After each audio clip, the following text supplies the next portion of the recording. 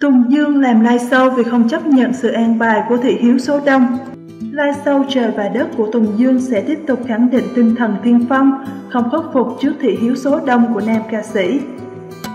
Ngày 21 tháng 8 tại Hà Nội, nam ca sĩ Tùng Dương tổ chức họp báo công bố live show mang tên Tùng Dương Trời và Đất. Tùng Dương khẳng định live show Trời và Đất diễn ra vào ngày 23-24 tháng 9 tại Cung văn hóa hữu nghị Việt Xô, Hà Nội, sẽ tiếp tục thể hiện tinh thần tiên phong cho âm nhạc của anh. Nam ca sĩ chia sẻ tinh thần tiên phong ở Vanguard đã luôn là lựa chọn mang tính chất quyết liệt với Tùng Dương ngay từ khi anh bước chân vào giới âm nhạc chuyên nghiệp. Ở thời điểm hơn 10 năm trước, khi nhạc Việt vẫn đang lúng túng giữa cơn sốt nhạc thị trường, lựa chọn của Tùng Dương được xem là liều lĩnh và chỉ có rất ít người tin vào thành công của anh. Trong 10 năm đó, Tùng Dương đã khai thác hết mức khả năng biểu hiện của giọng hát và phong cách biểu diễn trong nhiều dòng nhạc khác nhau và đều thành công. Với lai sâu Trời và Đất, Tùng Dương sẽ làm một chuyến đi tìm về những giá trị đích thực của con người, đi sâu vào những ngóc ngách tâm hồn và tâm linh, thể hiện tất cả những điều đó qua âm nhạc. Lai sâu Trời và Đất được Tùng Dương xem như một thử thách của chính bản thân mình, không hài lòng với những gì đã có và hoàn toàn không chấp nhận sự an bài của thị hiếu số đông. Tuy nhiên, Tùng Dương chia sẻ đây không phải là hành trình thách thức tai nghe người xem. Với Tùng Dương, anh không bao giờ cho rằng đương đại hay tiên phong là phải khó nghe, khó hiểu. Trong live show này, Tùng Dương sẽ cùng biểu diễn với bốn diva nhạc Việt Thanh Lam, Hồng Nhung, Mỹ Linh, Hà Trần. Đây là sự mong đợi lớn nhất của các fan Tùng Dương suốt hơn một thập kỷ qua. Dưới bàn tay biên tập của Tùng Dương, ngay cả các diva cũng sẽ hiện diện đầy mới lạ qua những phần biểu diễn chung và riêng trên một tinh thần đại dương thay đổi khó đoán định.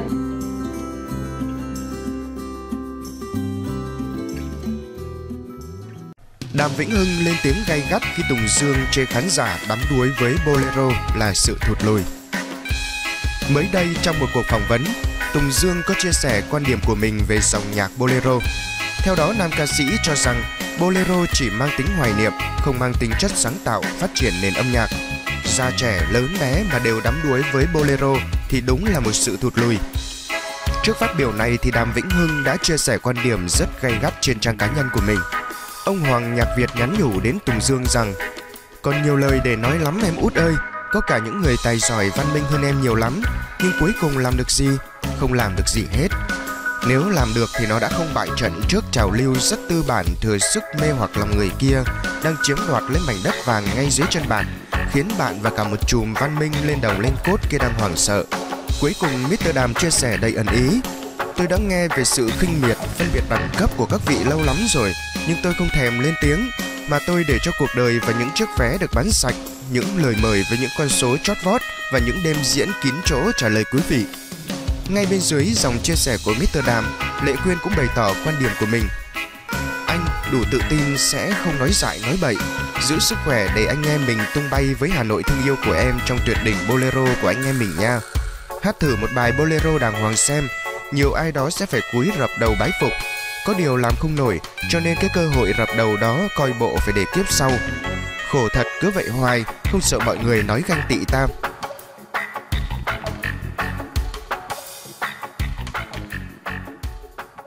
Nghệ sĩ phản ứng gay gắt với Tùng Dương. Đầu tư một tỷ, Tùng Dương cũng không hát nổi một câu bolero. Hồ Quang Tám, một ca sĩ có tiếng trong dòng nhạc bolero miền Bắc, đã đưa ra quan điểm trước nhận định của Tùng Dương. Bolero là loại nhạc người ta hát cả nửa thế kỷ rồi, sao mà dập nổi? Sóng thần mà tấm liếc đòi ngăn, không dập được thì các em nói càn. Mà nói sòng phẳng thì có đầu tư một tỷ, Tùng Dương cũng không thể hát nổi một câu bolero, không thể ra chất được, không hợp gu thì không thể mạo hiểm mà dám trình bày. Tùng Dương có khả năng riêng, có tố chất riêng, nhưng để nói về bolero, dòng nhạc mà nhiều thế hệ đã ngấm, thì Dương cũng như nhiều ca sĩ, nhạc sĩ hay nhà nghiên cứu không thể lật ngược và xóa tan được. Và lại Dương bảo rằng bolero chỉ là hoài niệm thì sai rồi. Còn nghệ sĩ hài Vượng Dâu, Nguyễn Công Vượng, một người cũng rất yêu mến dòng nhạc trữ tình này, cũng mới đăng trên Facebook một dòng tâm sự khá gay gắt. Tuy không chỉ đích danh người nói đến, nhưng qua cách nói, mọi người đều đoán được lý do xuất phát từ câu nói đã châm ngòi cho cuộc chiến với những người yêu mến bolero. Vượng dâu cho biết anh đã nghe bolero 30 năm nay rồi và cho rằng chỉ những kẻ trưởng giả học làm sang mới chơi bay dòng nhạc này. Anh nói, những nhạc sĩ bất tài hay ca sĩ bất tài thì chơi nhạc vàng, nhưng để viết được một bài nhạc vàng sống nhiều chục năm từ đời này sang đời khác, chỉ có văn minh mới làm được. Những người không làm được thường hay nói là bình dân, nhạc xến, nhạc thấp. Những thứ đếm trên đầu ngón tay nghe và lũ tay điếc học làm sang thì chúng gọi là nhạc sang. Sự thật là vậy, xưa nay nhiều kẻ hậm hực với nhạc vàng, nhưng nhạc sĩ thì không học được cách viết nhạc vàng. Ca sĩ thì hát mà tay chân quần áo, mặt mũi múa loạn lên như xiếc. Mình ghét nhất bọn tay thối trưởng giả học làm sang. Mình nhà quê nghe nhạc vàng 30 năm nay rồi, nói thế đủ hiểu. Trước đó, Đàm Vĩnh Hưng và ca sĩ Lệ Quyên cũng bày tỏ thái độ gay gắt với phát biểu này của Tùng Dương. Đàm Vĩnh Hưng thì cho rằng Tùng Dương đang ảo tưởng cho mình là ai đó ghê gớm lắm. Và động thái của Tùng Dương chỉ thể hiện sự hoảng sợ trước trào lưu thừa sức mê hoặc lòng người. Còn Lệ Nguyên thì đưa ra lời thách thức, hát thử một bài bolero đàng hoàng xem. Nhiều ai đó sẽ phải cúi rạp đầu bái phục. Có điều làm không nổi, cho nên cái cơ hội rập đầu đó coi bộ phải để tiếp sau. Khổ thật cứ vậy hoài, không sợ mọi người nói ganh tị ta.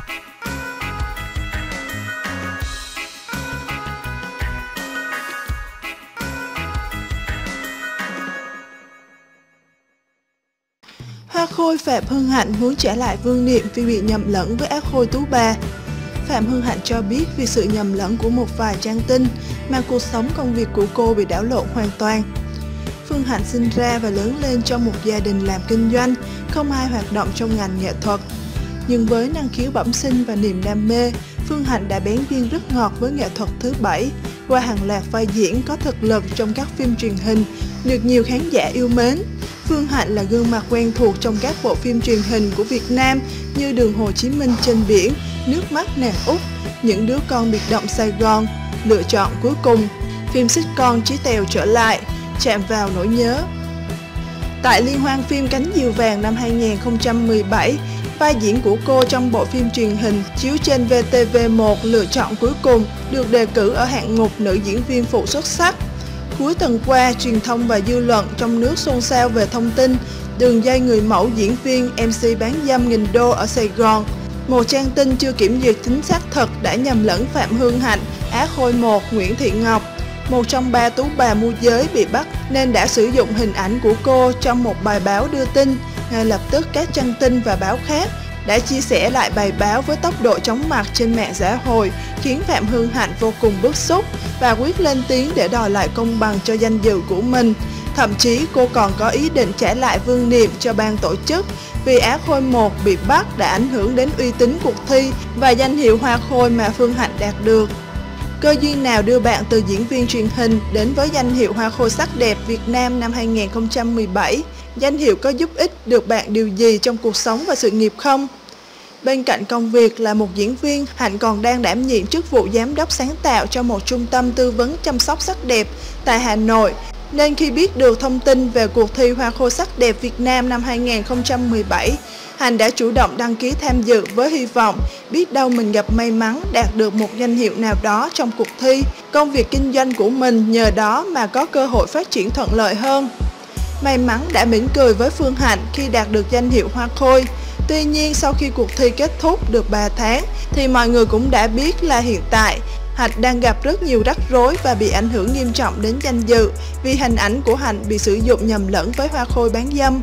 Đối với Hạnh thì danh hiệu, vương niệm hay giải băng đeo hoa khôi chỉ đem lại niềm vui tinh thần, đánh dấu tuổi thanh xuân và là kỷ niệm đẹp trong cuộc đời của một người phụ nữ. Nó không phải là tất cả, vì khán giả chỉ nhớ đến danh hiệu ấy nếu người sở hữu biết cách tỏa sáng thông qua các hoạt động vì cộng đồng, tài năng nghệ thuật được công nhận hay thành công trong sự nghiệp mà thôi. Việc nhầm lẫn hình ảnh của ác khôi 1 Nguyễn Thị Ngọc với bạn đã ảnh hưởng nghiêm trọng đến hình ảnh của bạn như thế nào? Bạn có hành động nào để giải quyết sự việc này chưa? Tự nhiên đang yên đang lành lại có một sự việc ở đâu từ trên trời rơi xuống, ảnh hưởng đến mình. Chắc chắn bạn cũng sẽ rơi vào trạng thái nóng tính, khó kiềm chế cảm xúc, giống như Hạnh. Tuy nhiên ngay sau đó, mình đã giữ được bình tĩnh để thu thập thông tin, chứng cớ đến cơ quan chức năng, đề nghị giải quyết làm rõ sự việc, yêu cầu trang tin kia đính chính và xin lỗi mình. Công việc hiện tại của Phương Hạnh là gì? Bạn đã có người yêu chưa? Anh ấy có phải đại gia không? Công việc hiện tại của mình là diễn viên phim truyền hình. Song song đó, Hạnh còn đảm nhiệm vị trí giám đốc sáng tạo cho một công ty hoạt động trong lĩnh vực thẩm mỹ làm đẹp. Hạnh vẫn đang độc thân vì không có thời gian hẹn hò. Cuộc sống không ai cho không ai điều gì.